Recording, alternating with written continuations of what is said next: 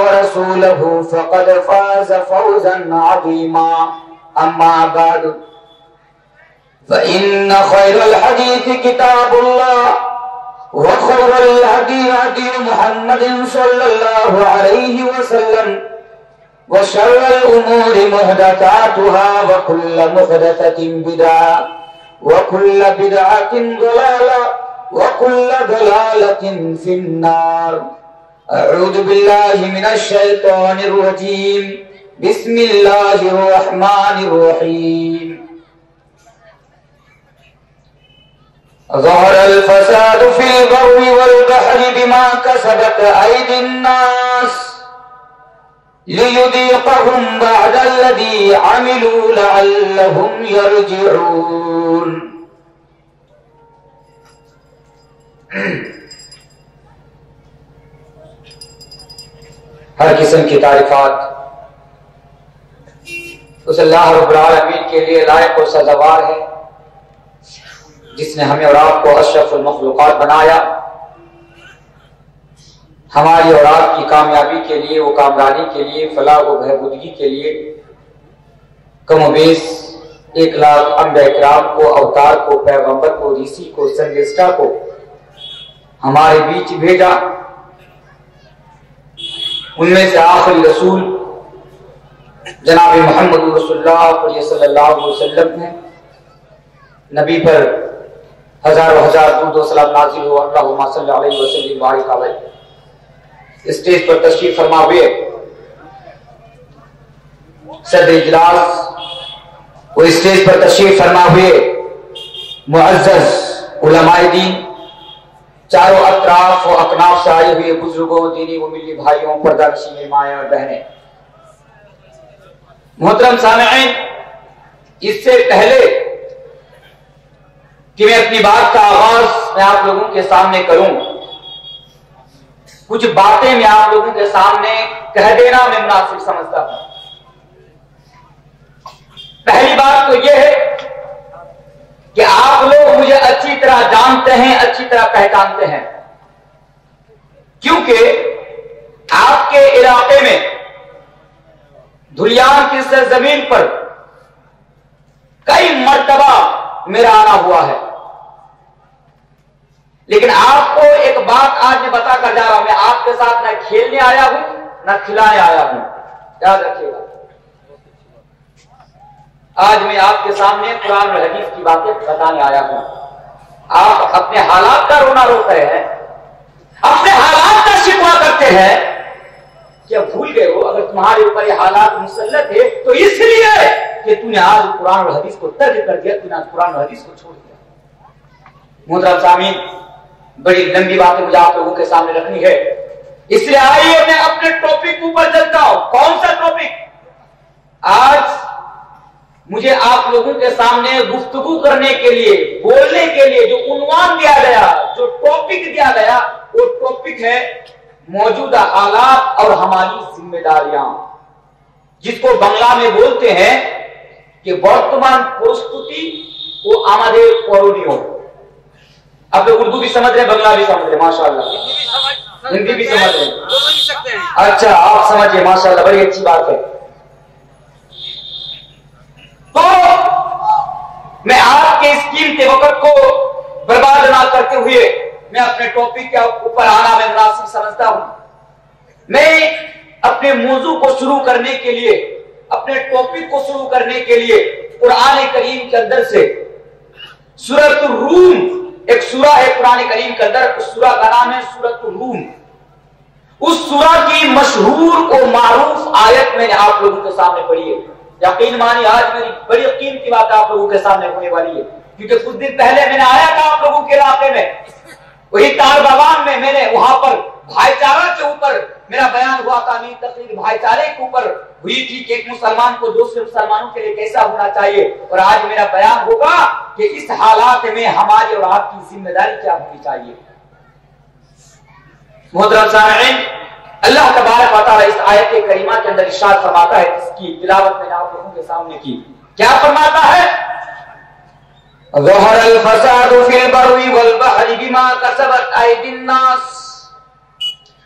अरे लोगों बहर उबर में फसाद और बिगाड़ ज़ाहिर हो गया ज़ोर फसाद फिल बहरी वल बहरी बिमा कसबत अयदिन्नास ऐ लोगों बहर उबर में फसाद और बिगाड़ ज़ाहिर हो गया लोगों के अमाल के सबब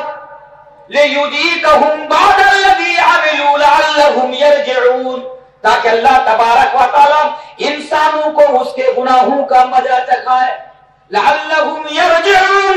ताकि लोग अल्लाह तबारक व ताला की जानिब रुजू हो सके ये आयत कब नाजिल हुई मुफसरीन किराम लिखते हैं ये आयत उस वक्त नाजिल हुई अल्लाह के प्यारे रसूल जनाब मोहम्मद रसूलुल्लाह सल्लल्लाहु के जमाने में और बितहदीद अहद मक्की में। वक्त के दो सुपर पावर ताकतें थी। दो मुल्क थे, एक ईरान और एक रूम। तो रूम और ईरान के दरमियान बड़ी खून रेज एक जंग हो रही थी। तो अल्लाह तबारक ताला ने उसके पसे मंजर में यह आयत नाजिल फरमाई और कहा कि ज़हर फसाद फिल बर्रि वल बहरी बिमा कसबत अयदिन नास, लियुदीकहुम बाद अल्लज़ी अमिलू लअल्लहुम यरजिऊन।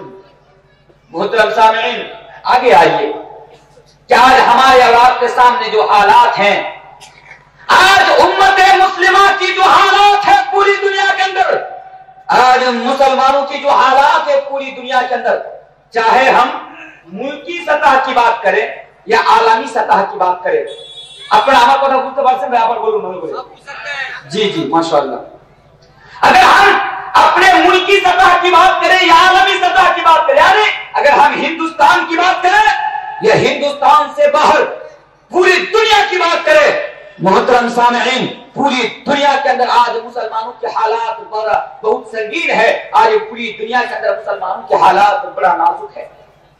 मोहतरम सामीन वो तमाम फितने जो आज हमारे और आपके सामने है अल्लाह के प्यारे रसूल जनाब मोहम्मद वसल्लम ने 1400 साल पहले हमारे सामने पेश हुई थी।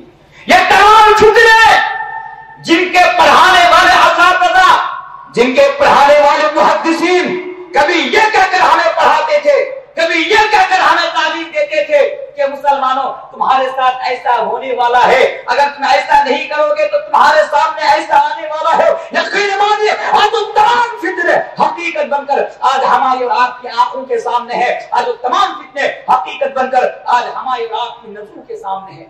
आज पूरी दुनिया के अंदर मुसलमानों को कत्ल किया जा रहा है। पूरी दुनिया के अंदर आज मुसलमानों के खून को होली खेला जा रहा है। मोहतरम सामीन पूरी दुनिया के अंदर आज इंसानों को, इंसानों के खूनों को आज पानी की तरह बहाया जा रहा है। क्या आपको पता है कि इसकी पेशन गोई नबी करीम जनाब मोहम्मद वसल्लम ने 1400 साल पहले हमारे सामने और आपके सामने किए थे? हदीस इस तरह है। ऐ लोगों, अल्लाह के प्यारे रसूल जनाब मोहम्मद रसूल सल्लल्लाहु अलैहि ने फरमाया लोगों ओ दुनिया में रहने वाले इंसानों मेरे सहाबा ओ मेरे साथियों, अन करीब ऐसा जमाना आने वाला है, अन करीब ऐसा दौर आने वाला है, अन करीब ऐसा जमाना तुम्हारे सामने आने वाला है कि तुम देखोगे कि पूरी दुनिया के अंदर हज ज़्यादा हो जाएगा, पूरी दुनिया के अंदर हज आम हो जाएगा। हदीस पर जरा गौर कीजिए, हदीस का लफ्ज क्या है? हदीस का लफ्ज क्या है? अल्लाह के नबी ने फरमाया, हज आम हो जाएगा, हज ज़्यादा हो जाएगा। साहबा किराम ने सवाल किया, साहबा किराम ने पूछा, ये अल्लाह के रसूल हज किसे कहते हैं? हज से क्या मुराद है? वो कौन हज है जो कयामत से पहले आम हो जाएगा, ज़्यादा हो जाएगा? तो नबी करीम सल्लल्लाहु अलैहि वसल्लम ने हज की तफसीर, यानी कत्ल से की। और नबी करीम सल्लल्लाहु अलैहि वसल्लम ने बयान फरमाया और लोगों, तुम देखोगे कि कयामत से पहले कत्ल आम हो जाएगा। कयामत से पहले कसरत कत्ल बढ़ अरे, कत्ल बढ़ जाएगा। तुम देखोगे कि कयामत से पहले लोग लोगों को बिला वजह कत्ल कर देगा। लोगों के खून को पानी की तरह बहा दिया जाएगा। अल्लाह के प्यारे रसूल ने फरमाया कि कत्ल आम हो जाएगा। बिला वजह लोग लोग को कत्ल कर देंगे।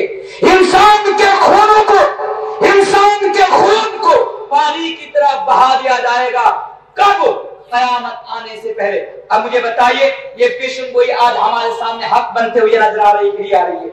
क्या ये पेशन गोई आज पूरी दुनिया के अंदर जो हालात है, पूरी दुनिया के अंदर, पूरी दुनिया का जो मंजरनामा है, इस हदीस को हालात के ऊपर फिट कीजिए तो आपको पता चलेगा कि बेशक आज पूरी दुनिया के अंदर हज आम हो गया है, कत्ल आम हो गया है, कत्ल ज़्यादा हो गया है। सिर्फ़ इतना ही नहीं, अपने हालात का रोना रोते हो। मुसलमानों तुम अपनी हालात का रोना रोते हो क्या आज मुसलमानों की मस्जिदें तोड़ दी गई, मुसलमानों को ये कर दिया गया, मुसलमानों को ये कर दिया गया, मुसलमानों को ये कर दिया गया। आज हालात का रोना रोते हो, क्या तुमको पता भी है कि नबी करीम वसल्लम ने चौदह सौ साल पहले तुम्हें क्या कहा था? अरे मुसलमानों, आज तुम खेलना चाहते हो, क्या तुमको पता है? खेलने से पहले नबी करीम जनाब मोहम्मद ने हमारे सामने और आपके सामने क्या रखा था? नबी करीम ने हमारे सामने और आपके सामने क्या पेशन गोई कर कर गए थे? आइए वो पेशन गोई भी मैं आप लोगों के सामने रख देता हूँ। मैं मौलवी हूँ। मेरा नाम तनवीर आलम है। याद रखेगा डंके की चोट पर बात कहकर जा रहा हूँ कि मौलवी तनवीर जब भी बात करता है तो दलील के तौर पर बात करता है। मौलवी तनवीर जब भी बात करता है तो कुरान और हदीस को सामने रखते हुए बात करता है। आज मुसलमानों, हमें अपने हालात का रोना रोने का कोई हक नहीं है।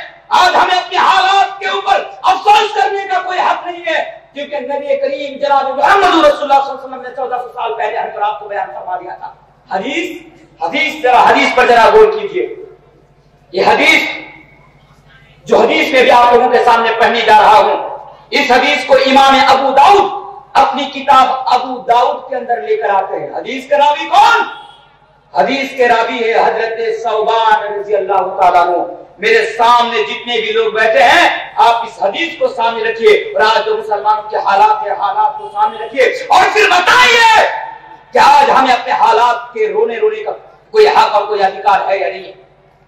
है लोगों, अल्लाह के प्यारे रसूल जनाब मोहम्मद वसल्लम ने 1400 साल पहले बयान फरमा दिया था, आई भारत के मुसलमानों तुम्हारे लिए नबी करीम सल्लल्लाहु अलैहि वसल्लम ने 1400 साल पहले ये पेशन गोई फरमा दिया था। नबी ने हमें आपको ये समझा दिया था। नबी ने हमें और आपको न कर दिया था। नबी ने हमें और आपको तंबी कर दिया था। हदीस इस तरह है, नबी करीम सल्लल्लाहु अलैहि वसल्लम ने फरमाया है मुसलमानों, तुम्हारे सामने एक ऐसा दौर आने वाला है। और तुम्हारे सामने एक ऐसा जमाना आने वाला है। तुम्हारे सामने एक ऐसा दौर आने वाला है कि तुम देखोगे कि दुश्मन कौन तुम्हारे ऊपर टूट पड़ेंगी। दुश्मन दुश्मन तुम्हारे ऊपर टूट पड़ेंगे। अल्लाह अकबर। नबी 1400 साल पहले भारत के मुसलमानों की हालात को खींच रहा है। 1400 साल पहले। क्या फरमाया? ऐ लोगों, दुश्मन कौन तुम्हारे ऊपर टूट पड़ेंगी? एक ऐसा जमाना तुम्हारे सामने आएगा एक ऐसा दौर तुम्हारे सामने आएगा कि दुश्मन कौन तुम्हारे ऊपर टूट पड़ेंगी। दुश्मन तुम्हारे मस्जिद को तोड़ देंगे। दुश्मन तुमको नमाज़ पढ़ने से रोक लेगा। दुश्मन तुमको मस्जिद में जाने से रोक लेगा। दुश्मन तुम्हें कुर्बानी से रोक देगा। दुश्मन तुम्हें इस्लाम के ऊपर अमल करने से रोक देगा। दुश्मन तुम्हें गाय के नाम पर कत्ल करेगा। दुश्मन तुम्हें जय श्री राम के नाम पर कत्ल करेगा। दुश्मन तुमको अपने मुल्क से निकलने की बात करेगा।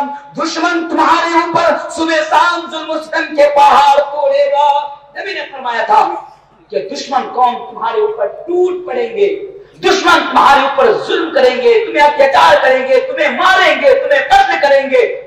और नबी ने उस तरह बयान फरमाया तस्वीर दस्तर खां के साथ दी और कहा कि भूखे लोग जिस तरह दस्तर खां के ऊपर टूट पड़ते हैं, दुश्मन तुम्हारे ऊपर टूट पड़ेंगे।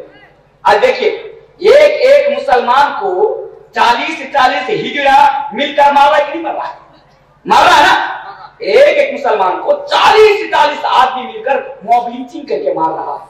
नबी ने फरमाया था कि भूखे लोग जिस तरह दस्तन खान के ऊपर टूट पड़ते हैं, दुश्मन तुम्हारे ऊपर टूट पड़ेंगे।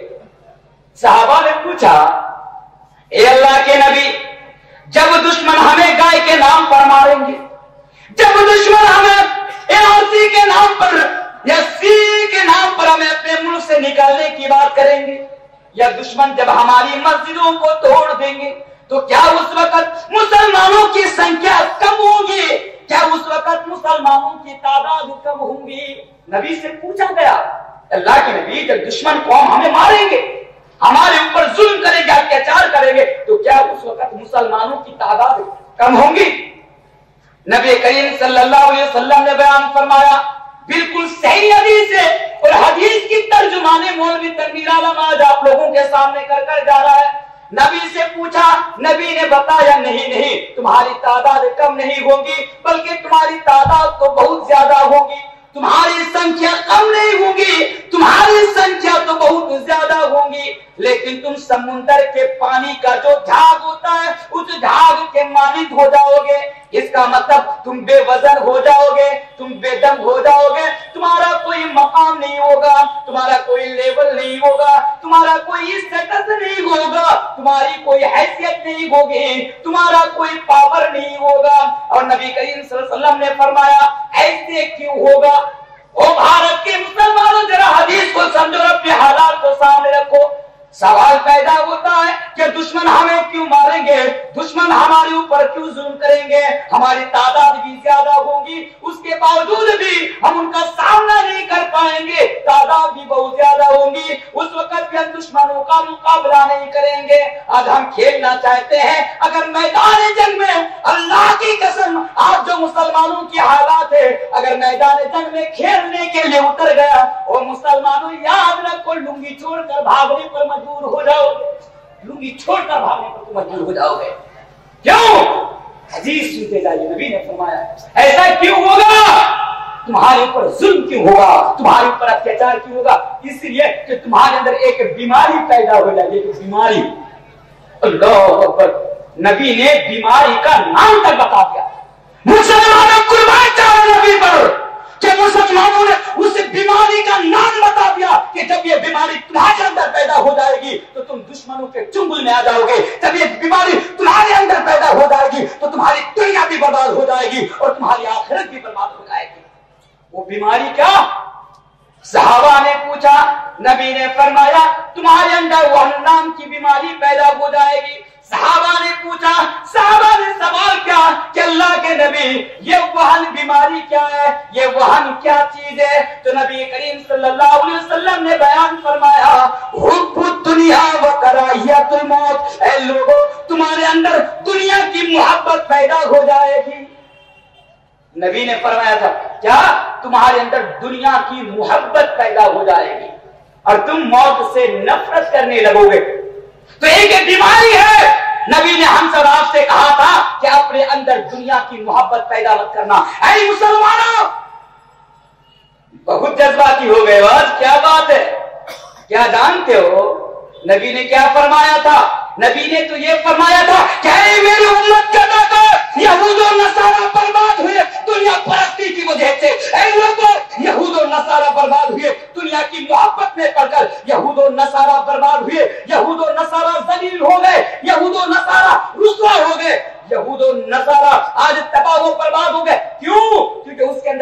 बीमारी पैदा हो गई थी उस बीमारी का नाम क्या उस बीमारी का नाम है परस्ती दुनिया की मोहब्बत अल्लाह के नबी ने 1400 साल पहले इशारा किया था। अगर आज नबी की इस हदीस पर अमल किए होते, अगर कुरान और हदीस की बातों पर अमल किए होते, मुसलमानों, आज हमें और आपको खेलने की ज़रूरत नहीं पड़ती। बात समझ में आ रही है मेरी? मेरी बातों को समझने के लिए आपका ध्यान मेरी तरफ़ होना चाहिए। आपका कॉन्सेंट्रेट मेरी तरफ़ होना चाहिए, तभी आप मेरी बातों को समझ अगर हम नबी की हदीस पर अमल किए होते नबी की बात पर अमल किए होते तो आज हमारी और आपकी जो हालात है आज हमारी और आपकी जो स्थिति है ये स्थिति पैदा नहीं होती ये हालात पैदा नहीं होती। तो मुसलमानों सबसे पहले कुरान और हदीस के ऊपर अमल करो फिर मैदान में उतरो तभी तुम कामयाब होगे। एक बात मुझे बताइए सवाल करके मैं जाना चाहता हूँ आपसे। ताकि मैं भी जानूं कि मेरी बात आप लोग समझ रहे हैं क्या नहीं समझ रहे अच्छा ये बताइए क्या आज मुसलमानों की तादाद कम है? नहीं है? पूरी दुनिया के अंदर मुसलमानों की तादाद मुसलमानों की आबादी दूसरे नंबर पर है। पूरी दुनिया में भारत की बात नहीं कर रहा तो पूरी दुनिया के अंदर मुसलमानों के हालात खराब है ना? आप चुप रहिए। पूरी दुनिया के अंदर मुसलमानों के हालात खराब है ना? हर जगह मुसलमानों को मारा जा रहा है हर जगह मुसलमानों को करते क्या क्या मुसलमानों की तादाद कम है? याद रखना तादाद कोई मायने नहीं रखती। बहुत सारे लोग कहते यार हम तो माइनॉरिटी हैं, हिंदुस्तान में हमारी तादाद इतनी सी है। अरे यार, हिंदुस्तान की बात करता है, पूरी दुनिया के अंदर देख, तुम्हारी कितनी तादाद है। पूरी दुनिया के अंदर दूसरे नंबर पर मुसलमानों तुम्हारी आबादी है। आज तुम्हें मार दिया जाता है, कोई आह तक करने वाला नहीं। आज तुझे मार दिया जाता कोई उफ तक करने वाला नहीं। तो पता क्या सर जानते तादाद रहने में तादाद कोई मायने नहीं रखती। अब कहेंगे, मौलाना साहब, ये कैसी बात है? वो लोग चाह रहे हैं हम एक है तो अब वही लोग तो जीतेंगे। याद करो गजराई बदर को तीन सौ तेरह हिला के रख दिए थे। कितने थे? तीन सौ तेरह हिला के रख दिए थे। आज मुसलमानों की इतनी भी तादाद, लेकिन आज भी मुसलमान बेदम। मुसलमानों का कोई मकाम नहीं, मुसलमानों की कोई हैसियत नहीं, मुसलमानों का कोई स्टेटस नहीं। क्यों? क्योंकि तादाद कोई मायने नहीं रखती है। बात कहेंगे, मौलाना, आपने तो पहले बताया कि मौलवी तक भी कोई हदीस की बिना पर कोई बात नहीं करता, दलील के तौर पर कोई बात नहीं करता। इसके ऊपर भी दलील दे दीजिए ले लीजिए, मैं आपको दलील पेश कर रहा हूँ।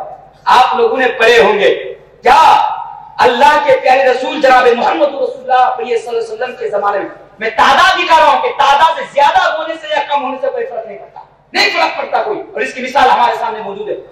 अल्लाह के प्यारे रसूल, जनाब मोहम्मद के जमाने में एक लड़ाई लड़ी गई। एक जंग हुई, एक लड़ाई लड़ी गई।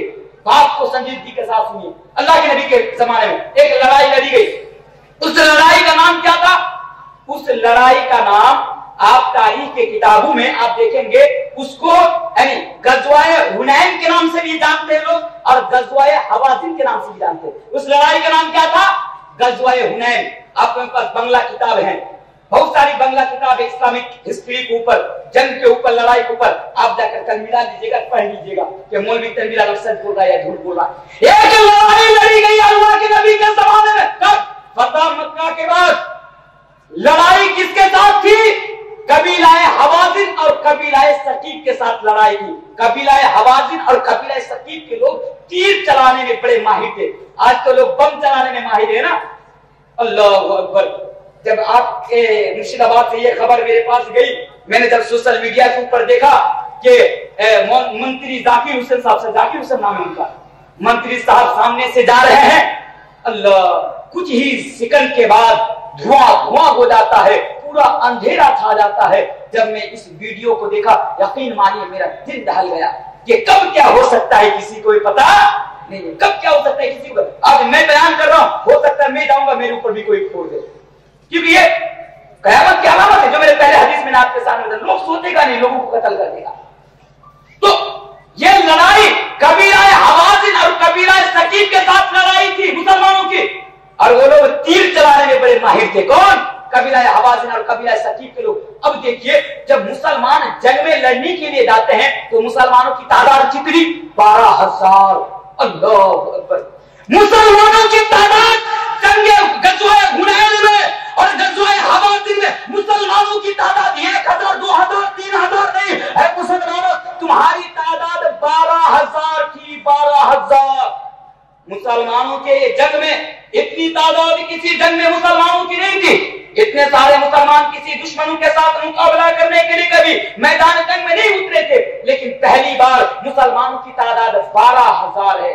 उनमें से दो हज़ार नौ मुस्लिम है। नया नया इस्लाम को कबूल किया था। उन लोगों ने, मुसलमानों ने, जब मुसलमानों की तादाद को देखा तो मुसलमान क्या हुआ? आज हमारा कोई पाल भी बाका नहीं कर सकता। आज दुश्मन मगलूब हो जाएगा। आज दुश्मन मैदान मैदान जंग को छोड़कर भागने पर मजबूर हो जाएगा। क्यों? क्योंकि उसके पास तादाद ज़्यादा है। मुसलमान के पास क्या तादाद ज़्यादा है? तादाद ज़्यादा मुसलमानों को अपनी तादाद के ऊपर नाज हो गया। मुसलमानों को अपनी तादाद के ऊपर फख्र हो गया। क्या हो गया? नाज हो गया, फख्र हो गया। मुसलमान मैदान जंग में कूद पड़े। अल्लाह जब मुसलमान बारह हज़ार का लश्कर लेकर जब मुसलमान बारह हज़ार की तादाद लेकर मैदान जंग में उतर पड़े तो दुश्मनों ने पहाड़ से तीर चलाना शुरू कर दिया जब दुश्मनों ने पहाड़ के ऊपर से तीर चलाना शुरू किया अब मुसलमान का लश्कर तितर बितर होकर रह गया मुसलमान किधर से भागे, उसको रास्ता नज़र नहीं आ रहा है। आपके हालात बयान कर रहा हूँ। मुसलमान किधर से भागेगा, उसको रास्ता नहीं मिला। मुसलमान मैदान जंग को छोड़कर भाग रहा है। अकबर। इससे पहले मुसलमानों की ये तारीख नहीं रही। इससे पहले मुसलमानों की ये बात नहीं रही कि मुसलमानों ने मैदान जंग छोड़कर भागा हो। लेकिन ये पहली जगह है, ये पहली लड़ाई है, गजवाए हुनैन है कि जब मुसलमान दुश्मनों के साथ मुकाबला करने के लिए उतरते हैं तो उनके तीर का सामना नहीं कर पाता है और मुसलमान मैदान जंग को छोड़कर भागना शुरू कर देता है। फिर नबी की बहादुरी देखिए, हमारे नबी की सुझाव देखिए कि नबी करीम सल्लल्लाहु अलैहि वसल्लम मैदान जंग में खड़े हो जाते हैं और कहते हैं ए भागने वाले सुनो ए भागने वाले मुसलमान सुनो ए भागने वाले मुसलमान सुनो। आना नबीउल्लाह कदीब आना नबीउल्लाह कदीब वो आना इब्न अब्दुल मुत्तलिब, वो आना इब्न अब्दुल मुत्तलिब। नबी ने फरमाया, लोगों मत भागो, मैं नबी हूँ, ये झूठा नहीं हूँ। ए लोगों मत भागो, मैं नबी हूँ, मैं कोई झूठा नहीं हूँ, और मैं अब्दुल मुत्तलिब का बेटा हूँ। इस जंग से मैंने आपको क्या सबक देना कहा? फिर अल्लाह की मदद आई और मुसलमानों ने वो जंग जीत गए। अल्लाह ने पुराने करीम के अंदर जिसका नक्शा खींचा तो तादाद कम हो या तादाद ज़्यादा हो, ये मायने नहीं रखती। मेरे प्यारे साथियों, अपने अंदर ईमान पैदा करो। मुसलमानों की हालात क्यों हुई? हुनैन में। मुसलमानों के हालात गजवाए हुनैन में इसलिए हुई कि मुसलमानों का अपने ऊपर कॉन्फिडेंस हो गया था। मुसलमानों को अपनी तेजाब के ऊपर, अपने लश्कर के ऊपर भरोसा हो गया था और अल्लाह के ऊपर से उसका भरोसा उठ गया था। मेरे प्यारे साथियों, उनका ईमान कमज़ोर हो गया था, जिसकी वजह से मुसलमानों को दुश्मनों के तीर का सामना करना पड़ा था। दुश्मनों को मेरे प्यारे साथियों, मैदान जंग को छोड़ना पड़ा था। क्यों? तो यहाँ पे ये सबक मैंने आपको देना चाहा कि आज लोग कहते हैं कि हिंदुस्तान के अंदर मुसलमानों की आबादी कम है माइनॉरिटी है इसलिए मुसलमान पर जुल्म हो रहा नहीं, ये बिल्कुल गलत बात है। ये बिल्कुल गलत बात है। ऐलान में ये बात कहकर जा रहा हूँ। अगर आप ये सोचते हैं कि हिंदुस्तान में आपकी आबादी कम है, इसलिए आपके ऊपर जुल्म हो रहा है, नहीं। इसलिए नहीं, क्यों? क्योंकि आपके अंदर वहन बीमारी पैदा हो गई है। क्या पैदा हो गई है? वहन बीमारी। दुनिया की मोहब्बत आपके अंदर पैदा हो गई है। तो मेरे प्यारे साथियों, अगर हालात से मुकाबला करना चाहते हो, लड़ना चाहते हो तो वहन बीमारी को, दुनिया की मोहब्बत को और दुनिया परस्ती को अपने दिल से निकालो। इंशाला तुम कामयाब हो जाओगे। आगे आइए। मेरे प्यारे साथियों, ये तो मुल्क ये तो मैं आलमी सतह की बात आपके सामने कर रहा था। ये तो मैं पूरी दुनिया की हालात के बारे में आपके सामने बात कर रहा था। और मुसलमानों की ज़मीन पर रहने वाले मुसलमानों, आज हमारे मुल्क के अंदर क्या हालात है? मुझसे पहले मौलाना अबू तालिब साहब बयान फरमा कर जा रहे थे। मैं दुनिया की, हमारे मुल्क के हालात की बात नहीं करूँगा। आज मैं आपके सामने ये सवाल कर कर जाना चाहता हूँ। मैं अपने मुल्क के हालात की बात नहीं करूँगा, लेकिन मैं ये सवाल करूँगा कि आखिर क्या वजह है? सवाल जरा समझिए, समझने की कोशिश कीजिए। आखिर वजह क्या है कि आज मुसलमानों के लिए हालात हुई सवाल ये हालात क्या है सब जानते हैं। मुसलमानों के हालात क्या है? सी न्यूज़ देकर जी न्यूज़ देकर सोशल मीडिया में न्यूज़ देकर हम सब जानते हैं हालात क्या है। मैं हालात की तस्वीर किसी आपके सामने नहीं करूँगा। मैं सवाल आपसे करूँगा क्या मुसलमान क्या वजह है कि अल्लाह तबारक ने आपको कुरान करीम के अंदर कुन तुम खैर उम्मतिन के से सरफराज किया? आपके एक अलग पहचान थी, आपका एक अलग मकान था आपका एक अलग मर्तबा था आज क्या बात है आज वो कौन सी बुराई आपके अंदर आ गई है? आज वो कौन सी कमी आपके अंदर आ गई है? आज वो कौन सी खामी आपके अंदर आ गई है कि आज पूरी दुनिया के अंदर, अपने मुल्क के अंदर आप जलील हो गए, आप रुसवा हो गए, आप हार हो गए और आपकी तारीफ़ और आपके हालात ऐसे हो गए। सवाल मैं आपसे कर कर जाना चाहता हूँ। आप कहेंगे, मौलाना, हम तो सिर्फ़ खेलना जानते हैं, हालात थोड़ी ना जानते इस तरीके से हुआ? हालात बता के जाता हूँ आपसे। हालात क्या है? हालात ये है आपके सामने मेरे भाइयों। अगर ये हालात हमने और आपने, अगर हमारे ऊपर आपके ऊपर ये हालात मुसलत है तो इसका अव्वल जिम्मेदार मौलवी तनवीर आलम जैसा मौलवी और आप जैसा मुसलमान है। अगर ये हालात हमारे सामने आज है तो इसके अव्वल जिम्मेदार आप हैं। आपने अपने गुनाहों के ज़रिए से, अपनी माशियत के ज़रिए से, अपने नाफरमानी के ज़रिए से इस हालात को आपने अपने ऊपर मुसलत किया है। आपके इस तारीख की बात बता दो। दुनिया का सबसे बड़ा जालिम बादशाह का नाम जब शुमार होगा तो उसमें हजाज यूसुफ का भी नाम आएगा। हजाज यूसुफ का नाम सुना है? अरे, चाय वाला की बात छोड़ी ये क्या है? कुछ नहीं है। ये कुछ नहीं है। हजाज बिन यूसुफ, ये तारीख का बहुत बड़ा खूंडेज इंसान था, बहुत बड़ा खूंडेज इंसान था। हजाज बिन यूसुफ जब लोगों पर जुल्म कर रहे थे लोग हजाज बिन यूसुफ की शिकायत लेकर इमाम हसन बसरी रहमतुल्लाह के पास आए और इमाम साहब के सामने हजाज बिन यूसुफ की शिकायत की और कहा कि इमाम साहब हजाज बिन यूसुफ की जुल्म की इंतहा हो गई हजाज बिन यूसुफ के जुल्म की इंतहा हो गई। ऐ इमाम साहब हजाज बिन यूसुफ, दिन ब दिन हमारे ऊपर जुल्म कर रहे हैं, दिन ब दिन हमारे ऊपर अत्याचार कर रहे हैं, उसके जुल्म की इंतहा हो गई। ओ लोगों, इमाम हसन बसरी रहमतुल्लाह का जवाब सुनो। इमाम हसन बसरी रहमतुल्लाह ने कहा और लोगों, आज जो तुम लोग हज्जाज बिन यूसुफ की शिकायत लेकर मेरे पास आए हो, क्या तुम जानते हो, अगर आज हज्जाज बिन यूसुफ हमारे ऊपर मुसलत है? और लोगों, अगर नरेंद्र मोदी जैसा चाय वाला प्रधानमंत्री, आज एजुकेटेड प्रधानमंत्री अगर आज हमारे ऊपर आपके ऊपर मुसलत है तो ये हमारे और आपके गुनाहों के सबब, हमारे और आपके नाफरमानी के सबब, हमारे और आपके मासियत के सबब, कौन कहा?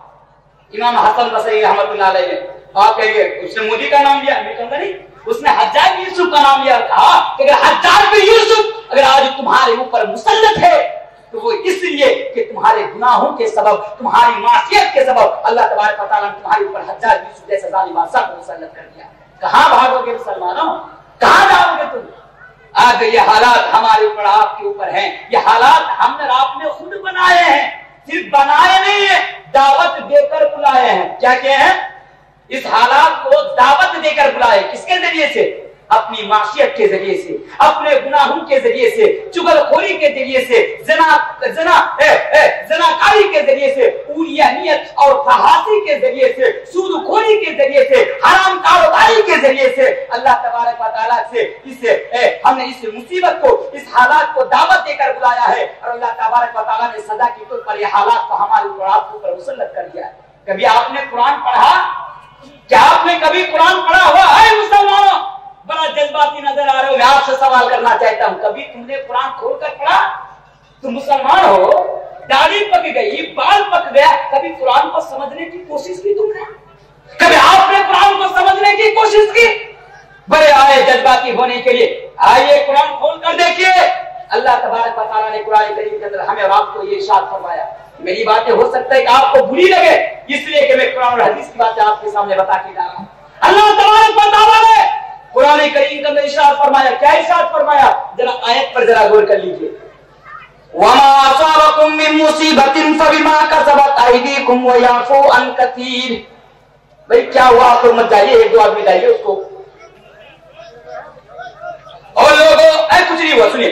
और लोगों अल्लाह तबारक व तआला कुरान करीम के अंदर इरशाद फरमाता है, वमा असाबकुम मिन मुसीबतिन, फबिमा कसबत अयदीकुम व याफू अन कसीर। और लोगों, अल्लाह तबारक व तआला ने कुरान करीम के अंदर इरशाद फरमाया। क्या इरशाद फरमाया? अगर तुम्हारे ऊपर कोई मुसीबत आती है, अगर तुम्हारे ऊपर कोई परेशानी आती है, अगर तुम्हारे ऊपर कोई मुसीबत लायक होती है, अगर तुम्हारे ऊपर कोई मुसीबत लायक होती है तो ये तुम्हारे सबब, ये तुम्हारे गुनाहों के सबब ना ये तुम्हारे गुनाहों के सबब नाजिल होती है, ये तुम्हारे गुनाहों के सबब ये हालात आती है, ये गुनाहों के सबब तुम्हारे ऊपर ये परेशानी आती है। अब देखिए मुसलमानों, अब हुआ कुछ नहीं, अब सब उठ के भागना शुरू कर दिया। अब हुआ कुछ नहीं उठकर भागना शुरू कर दिया। मुसलमान आज के। और तुम खेलना चाहोगे किसी और के साथ? ये हालात है आज तुम्हारी। तो मेरे प्यारे साथियों अल्लाह तबारक व तआला ने कुरान करीम का इरशाद फरमाया वमा असाबकुम मिन मुसीबतिन फबिमा कसबत अयदीकुम व याफू अन कसीर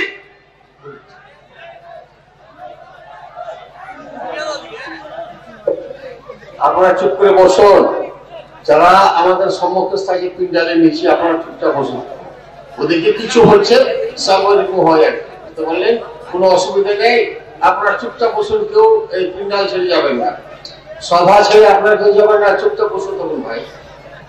जी हाँ तो वहाँ असाबकुम मिन मुसीबतिन फबिमा कसबत अयदीकुम व याफू अन कसीर कि जब तुम्हारे ऊपर कोई मुसीबत आती है, जब तुम्हारे ऊपर कोई परेशानी लायक होती है तो ये समझ लेना कि तुम्हारे गुनाहों के सबब, ये तुम्हारे करतूतों के सबब, ये तुम्हारी मासियतों के सबब लायक होती है। और अल्लाह तबारक व ने ये कुरान करीम के अंदर यहाँ पर ये इरशाद फरमाया व याफू अन कसीर ये बात मत, ये मत, ये और बात है कि अल्लाह तबारक व हमारे और आपके हर गुनाहों की पकड़ नहीं करता। আল্লাহ তাবারক ওয়া তাআলা পবিত্র কোরআনের মধ্যে বলছে তোমাদের উপরে যখন কোনো আপদ বিপদ আসে তোমাদের উপরে যখন কোনো পরেশানি আসে তখন তোমরা মনে করে নিবে এগুলো তোমাদের গুনাহর কারণে এগুলো তোমাদের মাফিয়াতের কারণে এগুলো তোমাদের নাফরমানির কারণে তোমাদের উপরে নাজিল হচ্ছে এবং এগুলা এসেছে তাহলে ভাই मेरे भाइयों और बहनों अगर हम हालात के साथ मुकाबला करना चाहते हैं तो हमें और आपको कुरान और हदीस की तरफ पलट कर आना होगा ভাই আপনারা বসুন না চলে যাচ্ছেন কেন এখন বক্তা আপনাদের সামনে বক্তব্য পরিবেশন করছেন বক্তব্য রাখছেন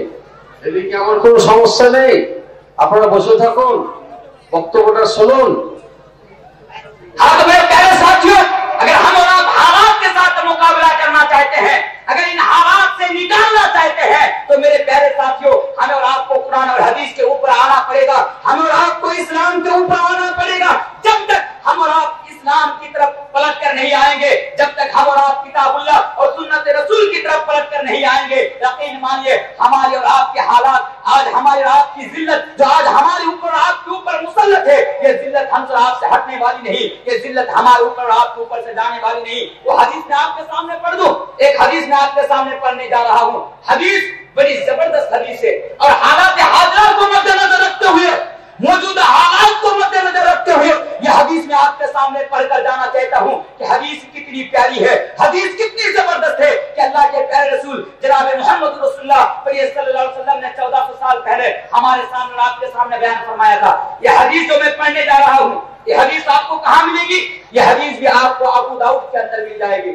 यह हदीस आपको अबू दाऊद के अंदर मिल जाएँगे। हदीस के रावी कौन? हदीस के रावी हज़रत इब्न उमर। इस हदीस के रावी है। अल्लाह प्यारे रसूल जनाब मोहम्मद रसूलुल्लाह बयान फरमाते हैं। कौन इब्न उमर कहते हैं कि समी तो रसूलुल्लाह सल्लल्लाहु अलैहि वसल्लम ने मैंने नबी करीम सल्लल्लाहु अलैहि वसल्लम को फरमाते हुए सुना। क्या फरमाते हुए सुना? अल्लाह के प्यारे रसूल जनाब मोहम्मद रसूलुल्लाह सल्लल्लाहु अलैहि वसल्लम ने बयान फरमाया और कब बयान फरमाया? 1400 साल पहले बयान फरमाया सही यानी अबू दाऊद की हदीस है और इस हदीस को इस हदीस को यानी सही करार दिया गया है। इमाम ए, इस हदीस को सही करार दिया गया। जरा हदीस पर जरा गौर कीजिए। अल्लाह के प्यारे नबी ने बयान फरमाया, इदा तबाया तुम बिल ईना वाखलतुम अदना बल बकर वा रदी तुम बिल वरदीतुम बिजरअ वतरतुम अल जिहाद वा सल्लत अल्लाह अलैकुम जुल्लन ला यंजिहु हत्ता हत्ता तजू इला दीनिकुम। ऐ मुसलमानो, ऐ भारत के मुसलमानों ए वेस्ट बंगाल के मुसलमानो, ऐ धुरियान के मुसलमानो, इस हदीस को जरा समझ लो। अगर तुम इस हदीस को समझ लोगे तो तुमको खेलने की ज़रूरत नहीं पड़ेगी। हदीस क्या है?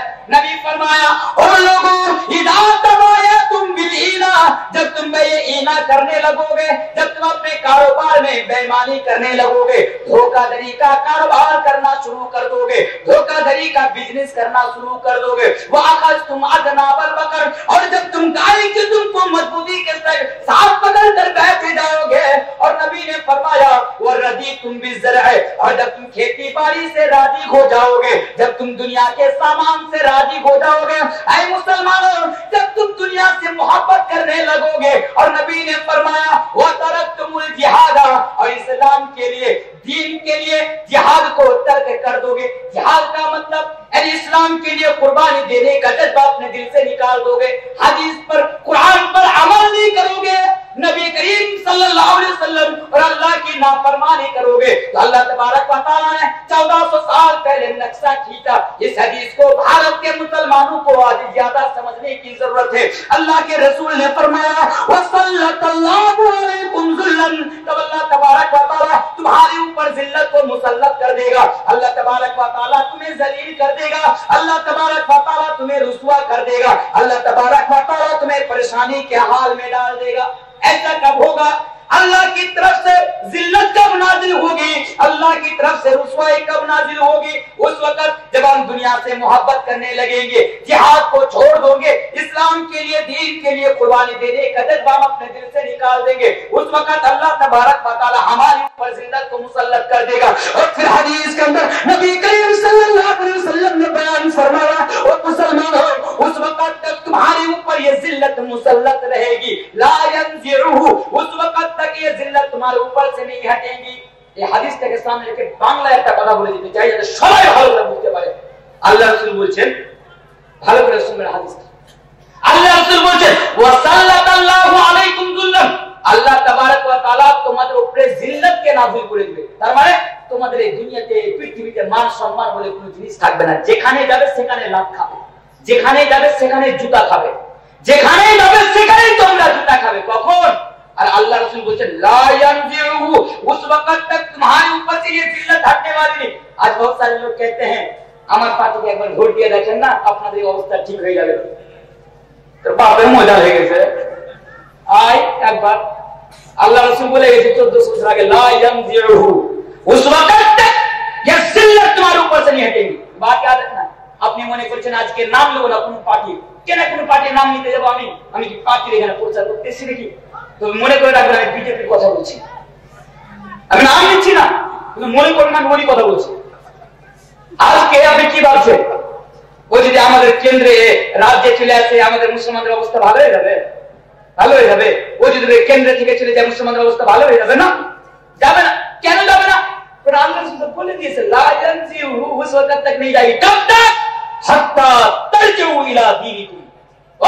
পর্যন্ত যাবে না। অতক্ষণ পর্যন্ত তোমরা কামিয়াব হবে না। অতক্ষণ পর্যন্ত তোমরা কি হবে না? সাকসেসফুল হবে না।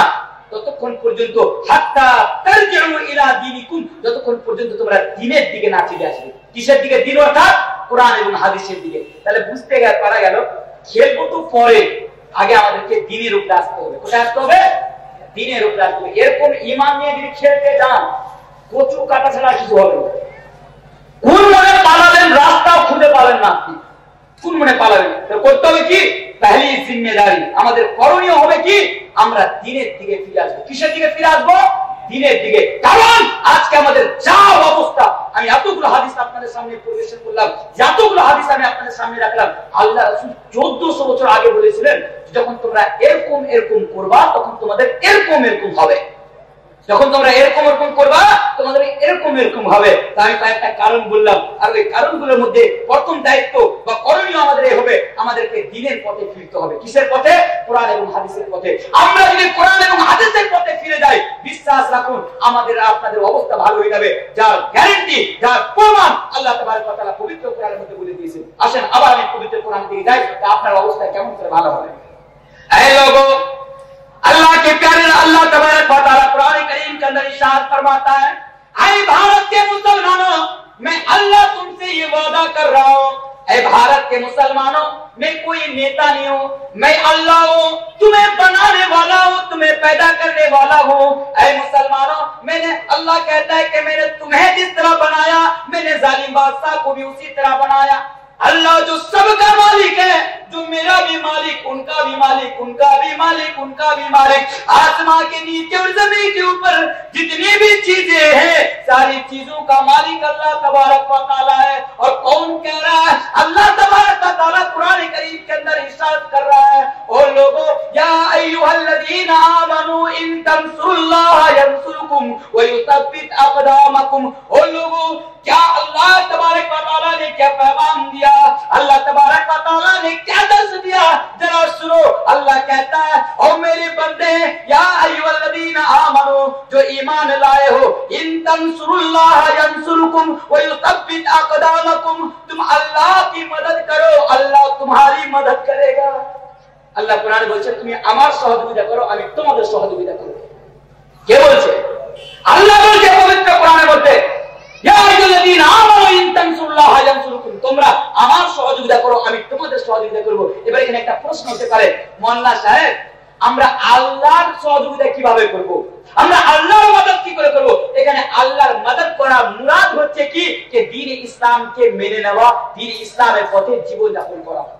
কিসের পথে জীবন যাপন করা কোরআন এবং হাদিসের পথে জীবন যাপন করা এটাই হচ্ছে আল্লাহর সহযোগিতা করা তাই আল্লাহ বলছে পবিত্র কোরআন মধ্যে ইয়া আইয়ুহাল্লাযীনা আমানু ইন তানসুরুল্লাহ ইয়ানসুরকুম तुम मेरी मदद करो हम तुम्हारी मदद करेंगे सिर्फ इतना ही नहीं अल्लाह तबारक व तआला ने कुरान करीम के अंदर 1400 साल पहले हमारे लिए और आपके लिए बयान फरमाया था क्या बयान फरमाया था ओ लोगों वला तहिनु वला ताजनु व अंतुमुल आलौना इन कुंतुम मुमिनीन हमारे आपके सारे मसला का हल कुरान ने बता दिया है।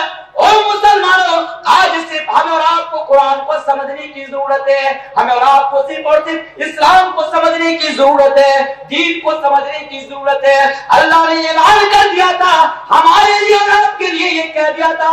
ऐ मुसलमानों, तुम्हें डरने की ज़रूरत नहीं है। वला तहनु, वला तहजनु, व अंतुम आलौना इन कुंतुम मुमिनीन। ऐ मुसलमानों, तुम ही बुलंद रहोगे, तुम ही इज़्ज़त वाले रहोगे, तुम ही सर बुलंद रहोगे। तुम्हारा ये मकाम बुलंद होगा तुम्हारा ही सर बुलंद होगा कब इन कुंतुम मुमिनीन जब तक तुम्हारे अंदर ईमान रहेगा আল্লাহ বলেছিল না যে তোমাদের ভয় করতে হবে না তোমরা সবচেয়ে অতি উত্তম থাকবে তোমাদের মাকাম উপরে থাকবে কখন যতক্ষণ পর্যন্ত তোমাদের কাছে ঈমান থাকবে এবার বলো তোমার কাছে ঈমান আছে বলো তুমি একবার হাতে হাত রেখে বলো ঈমান আছে আজকে তোমার কাছে কি নিয়ে আজকে তুমি ইজ্জতের আশা করো এই পার্টি চেঞ্জ করে দিলে তুমি ইজ্জত পেয়ে যাবা কখনো হতে পারে না কোরআন মৌলবী তানবীর মিথ্যে হতে পারে। সারা বিশ্বের মানুষ মিথ্যে হতে পারে। বলুন, কোরআনে এক একটা কথাকে মিথ্যে হতে পারে? আর আমি বলছি, আপনি বেইমান হয়ে যদি ইজ্জত পেয়ে যান, তাহলে আমি মনে করব কোরআন মিথ্যে। হতেই পারে না সেটা কখনো। এটা আলাদা ব্যাপার, আল্লাহ যাকে ইজ্জত দিব। তো শাহ ও জিল্লু মান্তাসা ও বিয়াদিকাল খায়র আল্লাহ যাকে ইজ্জত দিবে তাকে কেউ জিল্লত দিতে পারবে না আর আল্লাহ যাকে জিল্লত দিবে তাকে কেউ ইজ্জত দিতে পারবে এটা আলাদা বিষয় কিন্তু কোরআন এবং হাদিস বলছে তুমি অতক্ষণ পর্যন্ত ঈমানওয়ালা হয়ে থাকবা যতক্ষণ এ পর্যন্ত তোমার কাছে ইজ্জত থাকবে না ইজ্জত থাকবে না অন্য জায়গায় আল্লাহ তাবারক ওয়া তাআলা বলছেন ও লোগো इज्जत किनके लिए तुम किनके पास जाते हो इज्जत तलाश करने के लिए और लोगों आज तुम किसके दरबार में जाना चाहते हो इज़्ज़त पाने के लिए? अपनी हैसियत को पाने के लिए, अपना हक और मकाम पाने के लिए। अल्लाह ने कुरान करीम के अंदर चौदह सौ साल पहले ऐलान कर दिया था वो मुर्शिदाबाद वालों, बस इस हदीस इस आयत को जरा समझ लो। अल्लाह ने फरमाया, वलिल्लाहिल इज़्ज़त वली रसूलिही वलिल मोमिनीन अल्लाह ने लिख दिया कुरान करीम के अंदर कि इज़्ज़त अहले गहरे के लिए नहीं है, इज़्ज़त बेईमानी करने वालों के लिए नहीं है, इज़्ज़त सूदी कारोबार करने वालों के लिए नहीं है, इज़्ज़त जनाकार के लिए नहीं है, इज़्ज़त बेईमानी करने वालों के लिए नहीं है, इज़्ज़त किन के लिए है? अल्लाह कहता है इज़्ज़त इज़्ज़त तो अल्लाह के लिए इज़्ज़त तो उसके रसूलों के लिए है और इज़्ज़त तो मोमिनों के लिए है। इज़्ज़त किन के लिए है? मोमिन के लिए। मोमिन आज हम और आप मोमिन नज़र आ रहे हैं। किस एंगल से नज़र आ रहे हैं? किस एंगल से? अरे, आज तक आपने इस्लाम को बाप दादा की जागीर समझ कर रखा है? क्या आप इस्लाम के ऊपर माने नहीं, फिर भी आप मुसलमान हैं? इस्लाम को समझाए आपने? अगर इस्लाम को समझे हो तो इस बात को नोट करके जाइए मुर्शिदाबाद वाला, बाद में मौलवी तनवीर को गाली देना। मैं आपकी गालियाँ सहने को और सुनने को भी मैं तैयार हूँ।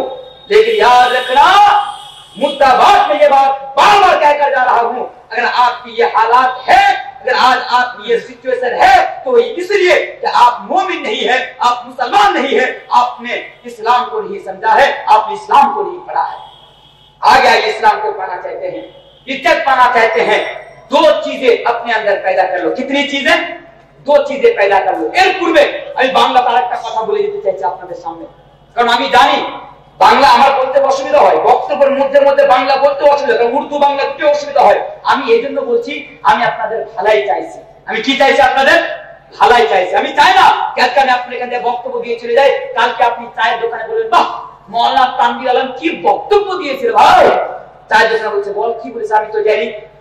খালি আওয়াজ এত সুন্দর, কি উর্দু ফট ফট ফট ফট উর্দু বলছে? লাভ হবে? কোন লাভ হবে না।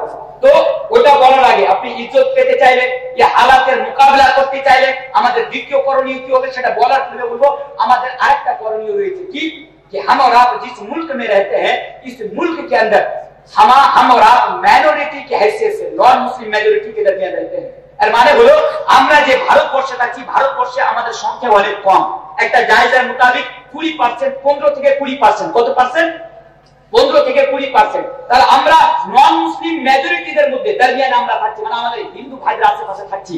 তো আমাদের আরেকটা করণীয় হবে কি? যে আমরা আমাদের হিন্দু ভাইদের সাথে সম্পর্ক ভালো গড়িয়ে দেবো। কি করব? সম্পর্ক ভালো করব। এটা আমাদের দায়িত্ব বর্তমান প্রস্তুতিতে আজকে শুধু জজবাত তাকলিফ করলে হবে না, খেলা খেলতে চাইলে হবে না আমার ভাইয়েরা। হিন্দুদের সাথে আমাদেরকে ভালো সম্পর্ক গড়িয়ে দিতে হবে। কারণ আসতে পারে। আমরা তাদের সাথে সম্পর্ক ভালো করাবো কেন? তারা তো মূর্তি পূজা করে, তারা তো এই করে, তারা তো ওই করে, তারা তো আপনাকে গুজরাটে মেরে দিয়েছিল, তারা তো আমাদেরকে ওখানে মেরে দিয়েছিল, তারা তো আমাদেরকে ওখানে মেরে দিয়েছিল। এই ইতিহাস যারা মনে আছে, এটা মনে নাই যে ভারতবর্ষে ওই এখনও অনেক আমার হিন্দু ভাই আছে, যখন মুসলমানের উপরে কোনো আপদ বিপদ আসে সর্বপ্রথম ওরা এসে লাইন দাঁড়ায় জানা আছে কি জানা নাই? তারাই জানে। তাহলে ভালো শুধু খারাপ হিন্দু ভাই নাই, ভালো আছে। নন শুধু খারাপ না, ভালোটাও আছে। আর ইসলাম বলছে আমাদের তাদের সাথে একটা ভালো সম্পর্ক গড়িয়ে নিতে হবে ভালো সম্পর্ক তৈরি করে নিতে হবে। কারণ তার কারণটা হচ্ছে আমাদের তো বুঝার কথা আছে এই জায়গাটা বুঝার কথা কি? আমার দায়ী উম্মত হ্যাঁ। দায়ী উম্মত মতলব আমাদের আর আপনাদের করণীয় আমাদের আপনাদের রেসপন্সিবিলিটি আমাদের আপনাদের দায়িত্ব কি? ইসলামের কথাকে বাড়ি বাড়ি পৌঁছে দেওয়া। কোথায় পৌঁছে দেওয়া? বাড়ি বাড়ি। পৌঁছে দেওয়া। এবার ওরা মধু আমরা দায়ী। যতক্ষণ পর্যন্ত নন মুসলিম ভাইদের সাথে আমাদের সম্পর্ক ভালো না হবে, ততক্ষণ পর্যন্ত আমরা ইসলামের বাণী তাদের কাছে পৌঁছাতে পারব না, এটা আপনি লিখে পারবেন কোন হিন্দু ভাইয়ের সাথে বা কোন ভাইয়ের সাথে আপনি ঝগড়া করছেন দিন রাত উঠতে বসতে আপনি তার সাথে ঝগড়া করছেন, আপনি ওকে কালকে যা বলবেন ভাই, কোরআন এই কথাটা বলছে, মেনে না। ও আপনার মুখখানে লাভ মারবে। তুই ঝগড়া করে তুই ফেরে আমাকে বলতে আসবি, এটা কর না। বুঝতে পারা গেল কি? তাদের সাথে ভালো সম্পর্ক গড়িয়ে দিতে হবে। কেন এটা করতে হবে? একটা হাদিস আমি আপনাকে বলি। সে আমার পাশে যে সাহেব বসে আছেন, ইনি কিন্তু সাহেবুল হাদিস। বহুদিন ধরে হাদিসের দাস দেন। তিনি জানেন সাহিব বুখারীর হাদিস যে আল্লাহ রাসূলের খাদিমদের মধ্যে একজন ইহুদি খাদিম ছিল। কে? ইহুদি নন মুসলিম কোরআনে, কোরআনের ভিতরে সবথেকে বেশি মুসলমান ইহুদিদের করা হয়েছে। কিন্তু আল্লাহ রাসূলের সেবা করছে কে? একজন নন মুসলিম কে? একজন যুবক ইহুদি আর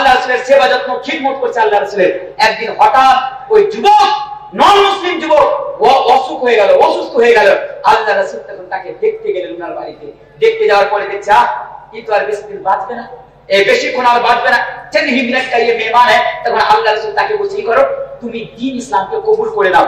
তখন আল্লাহ রসুল তাকে সামনে ইসলামের দাওয়াত যখন ওই ইয়ে নজওয়ান ইয়াহুদি খাদিমের সামনে যখন রাখলেন এবার আল্লাহ রাসূলের ব্যবহার দ্বারা দিয়ে, আল্লাহ রাসূলের চরিত্র দ্বারা দিয়ে, আল্লাহ রাসূলের কথাবার্তা দ্বারা দিয়ে সে তো মুতাসির ছিল, কারণ সেও জানতো যে আল্লাহ রাসূল একজন ভালো মানুষ, কোনোদিন মিথ্যে বলে না, কাউকে কষ্ট দেয় না, কারোর সাথে ঝগড়া করে না, কাউকে গালি দেয় না, সে কিন্তু জানতো আল্লাহ রাসূল যখন তাকে বললেন, তুমি কালমা পড়ে নাও, তুমি কামিয়াব হয়ে যাবে। কালমার যখন তাকে তালকিন করলেন, ওর বাপ পাশে বসেছিল, ওই ছেলের বাপ পাশে বসেছিল, ওই ছেলেটার বাবার দিকে দেখছে। এভাবে দেখছে। রাবি হাদিস বলছে যে ওর বললেই কর। আবুল কাসিম আল্লাহ নাম কি ছিল? আবুল কাসিম। আবুল কাসিম যেটা বলছে সেটা শুনে নে। তারপর সঙ্গে সঙ্গে কালমা পড়ে দিচ্ছে দিয়ে আমরা কি যে তাদের সাথে আমাদেরকে ভালো সম্পর্ক গড়িয়ে নিতে হবে। চরিত্র আমাদের আমাদের লেনদেনের দ্বারা দিয়ে ইসলামের ভালো একটা मैसेज यानी इस्लाम की सच्ची तस्वीर उनके सामने पेश करना पड़ेगा दूसरी जिम्मेदारी हमारे अखलाक के जरिए से किरदार के जरिए से बिहेवियर से लेन देन से चाल चलन से इस्लाम की सच्ची तस्वीर हमारे हिंदू भाइयों के सामने पेश करना पड़ेगा খুবই দুঃখ লাগে আজকে যখন আমাদের এই অবস্থা আর এই অবস্থা নিয়ে তখন আমরা আপনারা যখন কান্নাকাটি করি তখন খুবই দুঃখ লাগে আহ, আমরা যদি এই জিনিসগুলো করে থাকতাম আজকে আমাদের আর আপনাদের এই অবস্থাটা হতো না কি অবস্থাটা হতো না আচ্ছা ভাই বলুন আজকে ভারতবর্ষের মাটিতে মুসলমান কতদিন থেকে থাকে আপনি জানেন क्या आपको इल्म है क्या आपको पता है कि हमारे इस हिंदुस्तान के अंदर मुसलमान कितने सालों से रह रहे हैं लगभग चौदह सौ सालों से रह रहे हैं कितने सालों से চৌদহ সালোं से মুসলমান हमारे हिंदुस्तान के अंदर চোদ্দশো বছর ধরে আমরা মুসলমান এই দেশে বসবাস করছি আচ্ছা বলুন তো আমরা আজ পর্যন্ত আমাদের ইস মুসে হিন্দু ভাইদেরকে ইসলামের দাওয়াত তাকে ইসলাম বুঝাতে পেরেছি তাকে আমরা ইসলাম বুঝাতে পারিনি। কারণ আমাদের আজকে ব্যবহার ভালো নাই, আমাদের সম্পর্ক ভালো নাই, আমাদের লেনদেন ভালো নাই, তাদের সাথে আমাদের কথাবার্তা ভালো নাই, আপোষের মধ্যে আমাদের কথাবার্তা ভালো নাই, যার কারণে আমরা তাদেরকে ইসলাম বুঝাতে পারিনি। আজও আমাদের ভারতবর্ষের মাটিতে একটা আজান আপনাদের মুর্শিদাবাদে নমাজ পড়ার জন্য কয়বার আজান দেওয়া হয়? পাঁচবার না ছয়বার? একটা বউ দেখতে গেছি, জানেন? একটা বউ দেখতে গেছি। নিজের মধ্যে একটু দূরে আছে, পর্দাতে আছে। ওকে প্রশ্ন করা হচ্ছে আচ্ছা বলো তো, দিনে কয়টা আজান দেওয়া হয়? তো ও বলতে পারছে। অনেকক্ষণ পর তোমার পাশে গেছে কোহান আগে ছবার কোহান ছবার ও বলতে পারছে না। ওর পাশে যে আছে ও বলছে, বল না ছয়বার বল ছবার ওই জন্য জিজ্ঞাসা করে দিল, এই আজকে আমাদের অবস্থা, এই এই অবস্থা আর তাকে খেলার জন্য আগে রেডি আগে নিজেরটা ঠিক করবেন না, নিজের জায়গাটা ঠিক করবেন না, নিজের জায়গাটা আগে ঠিক করতে। আগে আমাদেরকে মুসলমান হতে হবে। তাহলে অটোমেটিকলি দেখবেন যে ইজ্জত দিয়ে জিল্লাত আমাদের উপর করতে যাবে, যেটা আল্লাহ আর আল্লাহ রাসূল বলা। তাহলে কি বলছিলাম? আজকে আমরা আমাদের আমাদের পাঁচ মার্তবা আমাদের আজান হয়। কয় মার্তবা? পাঁচ মার্তবা। এখনও আমার অনেক হিন্দু ভাই জানে না যে আজান কেনা দেওয়া হয়। এই, জানে না? আপনি কোনদিন বলেছেন আপনার বাড়ির পাশে একটা নন মুসলিম আছে, আজান কেন হয়? অনেক হিন্দু ভাই নন মুসলিম মেজরিটি অনেক এটা মনে করে যে আজান হয়, তার মানে হলো যে মুসলমানরা এখনও পাঁচবার দিনে আকবর বাদশাহকে স্মরণ করে না। কাকে স্মরণ করে আকবর, আল্লাহ আকবর মানে আকবর বাদশাহকে স্মরণ করে তারা। অনেক মুসলিম ভাই মনে করে আমরা ইসলাম তাদেরকে বুঝাতে পেরেছি, আমি আমার একটা উদাহরণ আপনি আপনাকে দিই। আমি যে বিল্ডিং এ থাকি, যে ফ্ল্যাটে থাকি, আমার ফ্ল্যাটে যতজন লোক আছে, সবাই কিন্তু বেশিরভাগ নন মুসলিম। আর সবাই কিন্তু শামসি পলিটেকনিক্যাল কলেজের ওনারা professor high educated high educated well educated ওরা। মানে সবাই কিন্তু প্রফেসর তো আমরা যখন ফ্রি থাকি একসাথে একটু চা টা খাই বা একটু কথাবার্তা বলি তো ওনারা অনেক সময় আমাকে অনেক রকমের প্রশ্ন ইসলাম সম্পর্কে করে দেয় অনেক সময় প্রশ্ন করে দেয় আমাকে ইসলাম সম্পর্কে একদিন আমরা চা খাচ্ছি তো একজন আমার আমার তো বয়সে অনেক বড় अ, काकू बोली उन्हें कि काकू हमें प्रश्न पूछ रही तलवी साहब मैं आपको एक सवाल करना चाहता हूँ मैंने कहा पूछिए तो बोला कि अच्छा बताइए कि উনি বলছেন যে আমি একটা প্রশ্ন করতে চাই বলছি, বলেন কি প্রশ্ন বলছে আপনারা মুসলমান আর আমাদের দিকে যারা আছে ওরাও মুসলমান তো আপনারা পীর না ওরা পীর তো ওরা কেমন মুসলমান? আপনারা কেমন মুসলমান? আপনাকে কি করে বুঝায়? মুসলমান হলে কোরআন হাদিসে বুঝিয়ে দেবো। কারণ আপনি তো কোরআন হাদিস বুঝেন। কোরআন হাদিস বুঝিয়ে দেবো। এবার একজন নন মুসলিম আমার ভাইকে আমি কি করে বুঝাই যে হাদিস এটা আছে তো কোরআন হাদিস বুঝে না? কোনটা ভুল, কোনটা সঠিক? বুঝাই না। তো ও আমাকে বলছে আপনি সঠিক না ওরা সঠিক? অনেকক্ষণ আমি চুপ করে থেকে গেলাম। চুপ করে থাকার পরে বলছি, দেখেন ভাই ওরা আমল করছে নিজের বাপ দাদা ধর্মের উপরে। নামটা শুধু মুসলমানের দিয়ে রেখেছে। তারপরে অনেকগুলো উদাহরণ অনেকগুলো এক্সাম্পল আমি তাদের সামনে নিয়ে আসলাম যে যারা আজকে আল্লাহ, অনেকে মুসলমান আল্লাহ আকবর নাম দিয়ে অন্যদের হত্যা করে। আল্লাহ আকবর নাম দিয়ে অন্যদের উপরে অত্যাচার করে এই ধরনের লোক মুসলমান হতে পারে না। অনেক রকমের এক্সাম্পল আমরা তাদেরকে বুঝালাম তাহলে আমরা বুঝতে পারলাম যে ভারতবর্ষের মাটিতে আমরা এতদিন থেকে বসবাস করছি। আমরা দায়ী উন্নত হওয়ার পরেও আমাদের উপরে দায়িত্ব, আমাদের কর্তব্য, আমাদের রেসপন্সিবিলিটি যে আমরা ইসলামের বাণীকে অন্যদের কাছে পৌঁছে দেবো, আজ পর্যন্ত আমরা পৌঁছাতে পারলাম না। তার কারণ আমরা হিন্দু ভাইদেরকে ইসলামটা বুঝাতে পারলাম না। তার কারণ তার কারণ হচ্ছে তাদের সাথে আজকে আমাদের সম্পর্ক ভালো নাই। তাই প্রথম আমি আপনাদের বলছি, আমিও, আপনিও, যতজন লোক এখানে আছেন, আপনার বাড়ির আশে পাশে, আনাচে, কানাচে, যত নন মুসলিম ভাই আছে, সবার সাথে আপনি সম্পর্ক ভালো করুন, যাতে আপনার দ্বারা দিয়ে, কথার দ্বারা দিয়ে, নিজের ব্যবহারের দ্বারা দিয়ে যাতে কেউ কষ্ট না পায়। আর আপনার যদি পড়োশি থাকে, তার যে হকগুলো আছে, আপনি তাকে হকগুলো দিন। যেহেতু আমি কয়েকদিন পূর্বে তার বাগানে এসেছিলাম একটা হাদিসের ওয়াদাহত আমি আপনার সামনে করে গিয়েছিলাম। হাদিসটা কি? যে হাজরাতে আব্দুল্লাহ ইবনে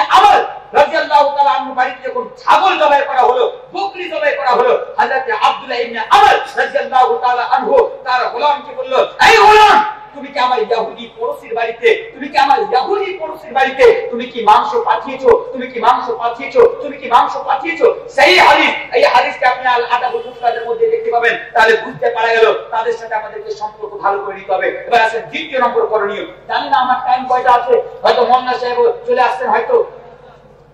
दस मिनट। अच्छा मेरे पास दस मिनट टाइम है। आइए मैं लास्ट में जल्दीबाजी में उर्दू में ए, कुछ जिम्मेदारियाँ आपके सामने बताकर चला जाऊँगा क्योंकि मेरी मेरा जो टॉपिक है ना मेरा टॉपिक है मौजूदा हालात और हमारी ज़िम्मेदारी आइए अपने अंदर एक चीज़ पैदा कर लीजिए। कौन अल्लाह तबारक कुरान करीम का इरशाद फरमाता है सूरह अल इमरान आयत नंबर 120 अब सूरह आल इमरान उठाकर देखिएगा 120 नंबर आयत के अंदर अल्लाह तबारक क्या फरमाता है? लोगों भारत के मुसलमानों अल्लाह तबारक व तआला कुरान करीम के अंदर इरशाद इरशाद फरमाता है, बयान फरमाता है कि तुम अपने अंदर दो चीज़ें पैदा कर लो। मेरे सामने जितने भी लोग बैठे हुए हैं, मेरे सामने आज जितने भी लोग बैठे हुए हैं, मैं आपको मुखातब करते हुए बात कहकर जा रहा हूँ। अल्लाह ने कुरान के अंदर इशार फरमाया कह लोगो, तुम अपने अंदर दो चीज़ को पैदा कर लो। अगर तुम्हारे अंदर दो चीज़ पैदा हो जाएगी तो कोई भी दुश्मन तुम्हारा नुकसान नहीं पहुँचा सकता। अल्लाह ने फरमाया और लोगों, अगर तुम्हारे अंदर दो चीज़ें पैदा हो जाएँगी, अगर तुम्हारे अंदर दो चीज़ें शामिल हो जाएँगी, पैदा हो जाएँगी तो दुश्मन की कोई चाल तुम्हें नुकसान नहीं पहुँचा सकती। आयत इस तरह है कि अल्लाह तबारक ने बयान फरमाया इन तस्बिरू व तत्तकू ला यदुर्रुकुम कैदुहुम शैआ ओ लोगो अल्लाह फरमाता है कि व इन तस्बिरू व तत्तकू ला यदुर्रुकुम कैदुहुम शैआ अल्लाह ने फरमाया अगर तुम्हारे अंदर दो चीज पैदा हो जाएंगी तो दुश्मन की कोई चाल तुम्हें नुकसान नहीं पहुंचा सकती আল্লাহ তাবারক ওয়া তাআলা পবিত্র কোরআনের মধ্যে বলছে তোমাদের মধ্যে দুটি জিনিস যদি সৃষ্টি হয়ে যায়, তাহলে আল্লাহ দুশমনের কোনো চাল তোমাদের ক্ষতি করতে পারবে না। দুটি জিনিস কি? এই দুটি জিনিসকে ওয়াজাহাত করে আপনাদের প্রধান বক্তা আজকে উনি চলে আসলেন। আমি আমার বক্তব্য ইতি করে দেবো? ইনশাআল্লাহ তাআলা। দুটি জিনিস আমার দিকে দেখেন। ছয়টি জিনিস? মাত্র দুটি জিনিস। কে বলছে? আল্লাহ বলছে আমি আল্লাহ বলছে। মাত্র দুটি জিনিস। প্রথম নাম্বার জিনিস, ওয়াইন তাসবিরু। এই মুসলমান! এই বর্তমান পরিস্থিতিতে এই হালাত থেকে যদি তুমি রক্ষা পেতে চাও এই হালাত থেকে যদি তুমি নাজাত পেতে চাও ওয়াইন তাসবিরু তোমার মধ্যে সবর पैदा করে দাও पहली चीज क्या पैदा करो सब সবর সবর কাকে বলে আপনি জানেন সবর কাকে বলে বাংলাতে আপনারা সবর বলেন কাকে বলে জানেন আপনি বলবেন হ্যাঁ মোল্লা জানি না তো কি না তো একটা বাপ মরে গেল সবর করে নিল এটাই সবর না কোন আপদ বিপদ আসলো হ্যাঁ, এটাও সবর অবশ্যই কেউ মারা গেল আমরা সবর করলাম সন্তান মারা গেল সবর করে এটাও সবর কিন্তু আল্লাহ বলছে ওয়াই ইস্তাসবিরু अपने अंदर सब्र पैदा करो तो सब तीन चीजों का नाम है सब्र কয়টি জিনিসের নাম তিনটি জিনিসের নাম খুবই শর্টকাট আমি আপনাদের সামনে বলবো पहली चीज প্রথম নাম্বার জিনিস যে সিচুয়েশন যেমন হোক না কেন সবরের তাকসিম কিসিম সিচুয়েশন যেমন হোক না কেন হালাত যেমন হোক না কেন আপনি ইস্তেকামাতের আপনি দিনের উপরে ইস্তেকামাত থাকবেন ইসলামের উপরে ইস্তেকামাত থাকবেন হালাত যেমনই হোক না কেন আপনি ইসলামের বাইরে কোনো কাজ করবেন না